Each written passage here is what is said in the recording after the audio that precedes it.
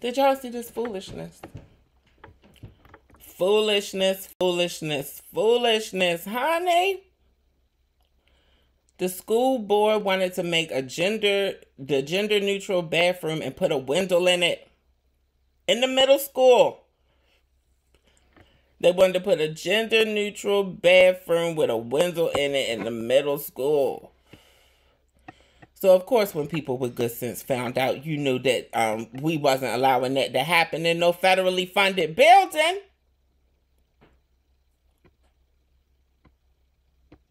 When y'all think I'm joking, and they used the excuse that they wanted to have windows in the gender neutral bathroom to make sure that the children wasn't smoking and all that kind of stuff.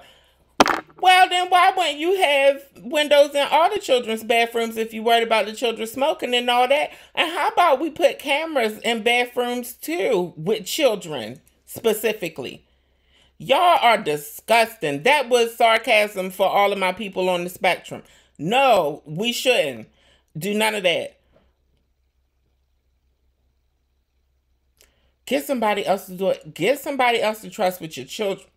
Child, honey, this is why I ain't got none. Because I had decided long time ago when I was trying to have one, I had decided that my child was not going to public school.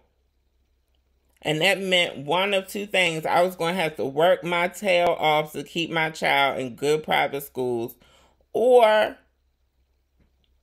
I was going to have to stay at home at homeschool. Child, get somebody else to do it. Y'all thought I was joking. Honey, a window. Window. Now they boarding it up. They wanted a window. You could you could see from the window to to the stall. Gender inclusive. For all of the people who ain't catching the psychology in this and ain't understanding the purpose, their goal was to do two things.